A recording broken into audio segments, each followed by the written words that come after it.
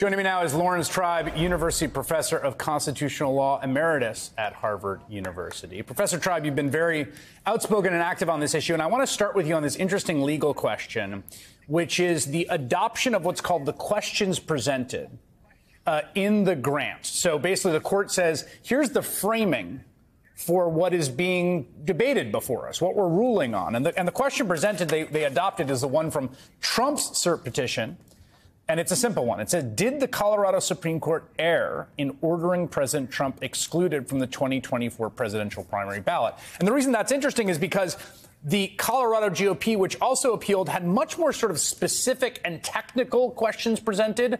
But it looks like the court is adopting the kind of broadest possible, which gives them any possible avenue to consider. I think you're exactly right, Chris they adopted a question that doesn't constrain them in any way.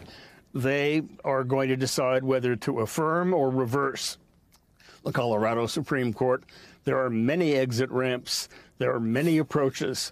What is interesting is that if you are a strict textualist, you really read the words of the 14th Amendment, Section 3, or if you are a so called originalist, a historian, uh, someone like Jack Rakove of Stanford, a Pulitzer Prize winning historian, leaves no doubt that the right answer would be the one that conservatives would give. It is more prudential moderates and liberals like Kagan and Jackson and Sotomayor who might wring their hands over the broad systemic impact on democracy. That's an ironic situation. It's filled with ironies. I mean, if you read the briefing uh, submitted by Donald Trump and also by the uh, Republicans of Colorado, it's filled with paeans of praise to democracy. The people should not be deprived of their vote. But, Mr. Raffensperger, can't you just find me 11,180 of them? This is all about this is all about depriving the people of the right to end a presidency by engaging in what a detailed trial in Colorado concluded was insurrection. I don't think the court is likely to take a technical off ramp. Hmm. I don't think it's likely to hold you know, that the words of the oath that the president took to preserve, protect, and defend the Constitution didn't didn't use the word support the hmm. Constitution, and you know, and therefore the president is not covered. I don't think they're going to take a kind of technical, uh, highly legalistic approach. I think that the conservatives are going to have to establish that they mean what they say. And the one way they could do that is to say that although the original meaning of Section 3 of the 14th Amendment was that you didn't have to be tried or convicted of insurrection as long as there was a determination that you were an insurrectionist. Congress didn't need to create a special scheme to do that because people knew what the what the score was at the hmm. time of the Confederacy. Hmm. But now you have to become a little bit of an orig- of a living constitutionalist. Right. Decades have passed.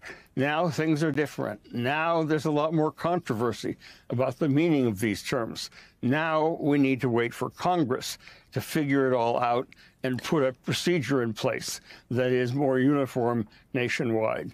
That would be a plausible decision, not one consistent with genuine textualism or originalism, but one that might make sense to the broad middle of the court.